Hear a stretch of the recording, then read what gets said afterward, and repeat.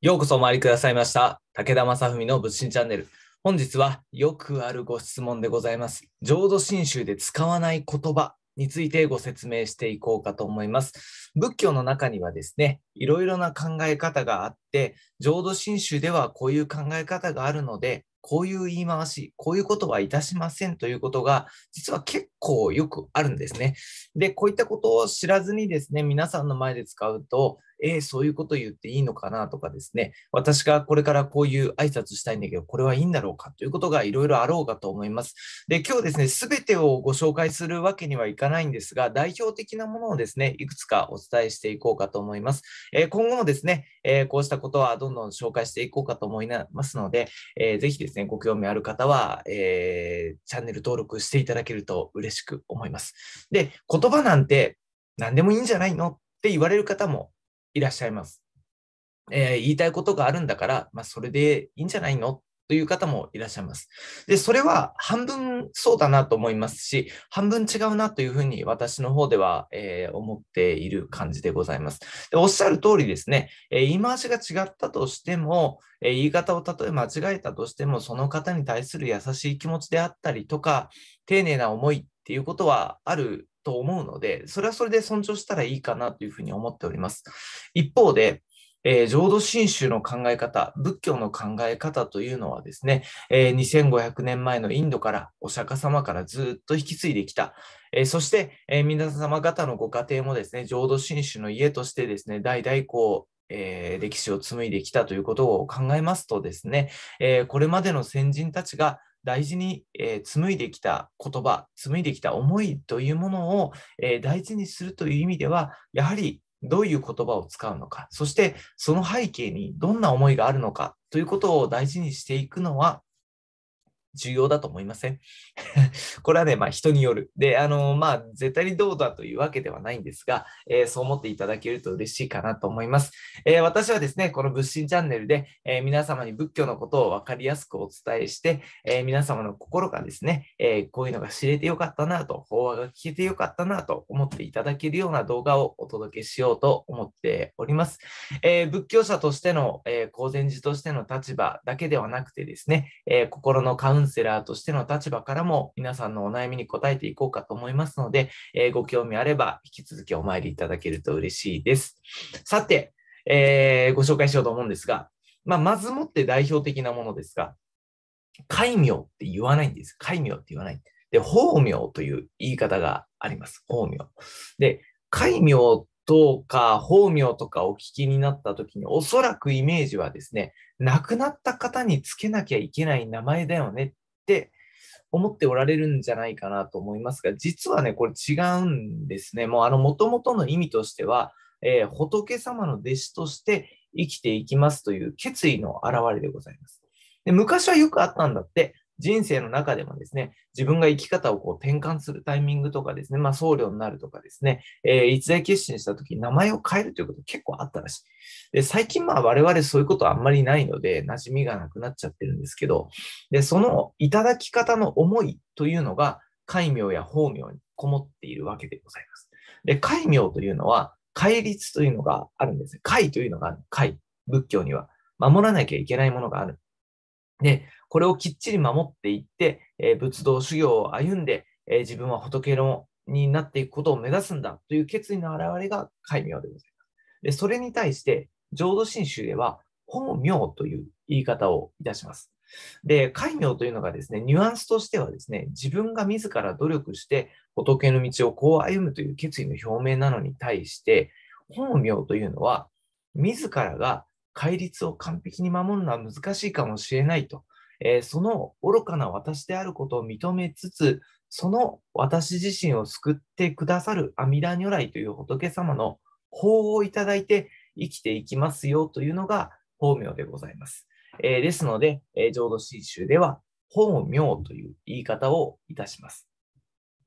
で、こちらの法名もですね、えー、我々が生きていく生き方を示すものですので、え、できましたら皆さんお元気なうちに京都に行って、え、ご本山、え西本願寺でですね、え法名をいただくことができるんです。帰教式というのがあって、ご門主様からですね、法名をいただくんです。で、尺〇〇という、えー、尺の字に、え、2つの文字をつけるん。です釈というのがお釈迦様の釈ですね。で、そこに、えー、お経典の中から、えー、2文字選び取って、えー、本名をつけるわけなんですが、えこれ本名をいただいてからはですね、私たちは仏弟子として阿弥陀如来の教えを聞きながら生きていきますという決意の表れですよ。もう本当にね、あの、すごく気持ちがいいです。気分も変わると思いますので、えー、おすすめですので、ぜひね、方面をね、お取りになっていただけたらなというふうに思ったりいたします。えー、ですので、こう亡くなった方用じゃなくてですね、こう生き方の考え方なんだということを、えー、知っておいていただけたらなと思います。で、次に、よくある間違いなんですが、天国って言わないんですよ、天国。知ってました？天国ではなく、お浄土、浄土というふうに言います。えー、亡くなられた方が天国に行きましたという言い方はね、よくするで、えー、キリスト教の考え方ではね、これ、あの、いいんですよ。天国という言い方というのは間違いじゃない。もうそういう考え方ではいいんだけど、えー、仏教、特に浄土真宗の考え方では、お浄土に、え、往生されました。という言い方をいたします。で、えー、というのも、これ一番大事にしているところなんですね。お浄土という世界観ですね。えー、私たちの命というものがお浄土に、えー、往生して仏になって、えー、そして幻想エコお浄土で仏になった方は私たちのところまた見守ってくれるわけでございます。だからね、これすごく大事な。で、亡くなっちゃった方がどこにでもいいから行ってくださいっていうものじゃないんですよね。で、まあ、このあたりがね、まあ、あんまり目くじら立てて起こることではないんですが、えー、私たちが大事にしていきたいのはお浄土という言葉があるんだよ。えー、お仏壇というのは、お浄土が形作られているものになるわけです。えー、皆さんのご家庭にあるお仏壇に手を合わせていただいたときには、あ、おじいちゃん、おばあちゃん、天国に行ったんだな、じゃないんです。おじいちゃん、おばあちゃんが、このお仏壇のようなお浄土に行って、仏さんになっちゃったんだなと思って、えー、手を合わせていただけたらなと思ったりします。で、祈祷ではなく感謝ということでね、えー、これら今ですね、あの、釈先生が、えー、お書きになった浄土真宗、あの、初めての浄土真宗ね、えー、本の中に書いてあったものをこう参考にしてお伝えしてるんですが、祈祷っていうのが、えー、自分たちの生活がこうなったらっていうようなお祈りをするわけです。まあ、これはもうよくある、ね、いろんな宗教の中でよくあることなんですが、浄土真宗実はこれしないのね。で、そうじゃなくて、今生きていることに感謝をしていきましょうという、えー、言い方をするわけなんです。で、というのも、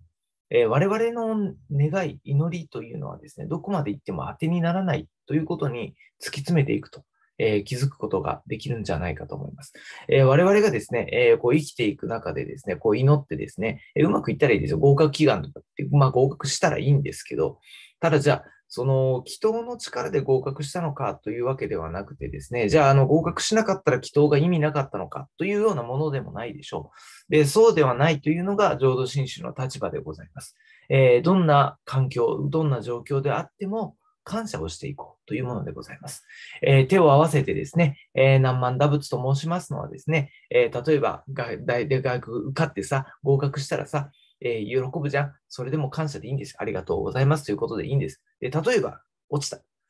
うまくいかなくて不合格だったとしても、何万打仏で感謝なんです。で落ちたこと自体は、えー、ショックだったでしょうし、えー、それまでの努力のことを思うといろんな気持ちも湧いてくると思います。ただ、えー、そのことによって、えあなたが見捨てられるのではなくて、うまくいこうがうまくいくまいが、元気だろうが元気じゃなかろうが、え等しく救いましょうと、等しく見守っていますよという仏様に感謝をする。ということで、えこうなってください、こうなってくださいじゃなくて、えそのままの姿、今の悩みながらも、もがき苦しみながらも、えいる姿で受け止めていただくことに感謝をいたしましょうというのが浄土真宗。厳しい。どうなんだろう。で、えー、ご霊前ではなくご仏前。あのー、よくね、えー、お供えするときに分かんなくなる。ご霊前とご仏前。で、これまあ、これもね、そんなに細かいことって思われるかもしれませんが、霊っていう考え方がね、え実は仏教的ではなかったりするんですね。で、霊、まあ、霊という言葉を使うこともあるかもしれませんが、基本的にはちょっと違うから。で、霊というのはですね、えー、私たちが何か人間には霊というものがあって、亡くなられた後にも霊というこの特定のものがずっと続くというような考え方になってきます。で、えー、その特定のものがずっと続くというものではなくて、仏という概念はもっと幅広くつながっていくというような考え方でいいかなと僕は思うんだけど、命っていうのが特定のものが特定のものにこう生まれ変わって、この虫ですとかですね、この木ですとかじゃなくて、もっとえー、世界の命っていうのはつながっていく。これが縁起ですよね。縁起の考え方。で、諸行無常ですので、もう形であったり、特定のものっていうのはずっと移り変わっていくっていうのが仏教の考え方でございますので、えー、ご霊前というよりかはご仏前という方が、えー、浄土真宗としてはよろしいんではないかなと思ったりします。で、永民ではなく往生ということで、これは永民してくださいというふうにね、えー、まあ、安らかにお眠りくださいという言い方はあんましない。で、えー、眠ってずっとそこでじっとしててねっていうような考え方ではなくて、王女、仏様としてお浄土にお生まれになってください。でそして、お浄土でお生まれになった仏様というのは、今こうして生きている私たちのところに何万打仏の声の仏様なんですぐ飛んできてくれる。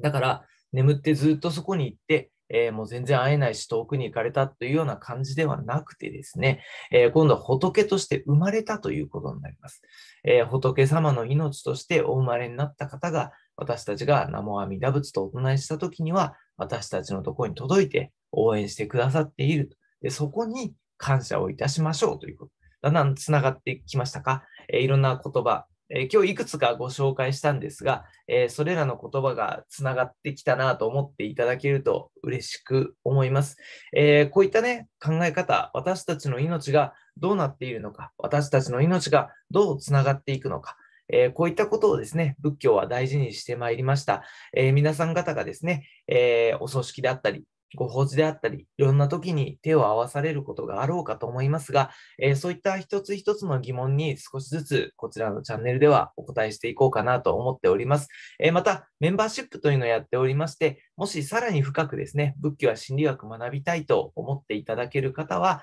えー、ホーム画面のところに、え、メンバーシップのご案内しておりますので、え、チェックしていただいて、仲間に、え、入っていただけたらなと思います。どうですか、え言葉とかっていうと結構難しいでしょ？で。難しいんだけど、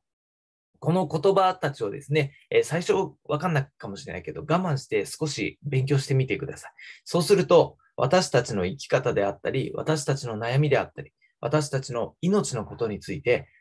今まで考えてきたものとは違うものが見えてくるんじゃないかと思います。え私たちの生活、目の前に起きる出来事というのは変わらないかもしれない。だけど、その出来事の見え方が仏教によって違う角度からご覧いただけるようになろうかと思いますので、えー、ぜひですね、今後もお参りいただけると嬉しく思います。はい、えー、それでは本日はですね、えー、浄土真宗の言葉ということで紹介させていただきました、えー、最後までご視聴いただきありがとうございました。またのお参りをお待ちしております。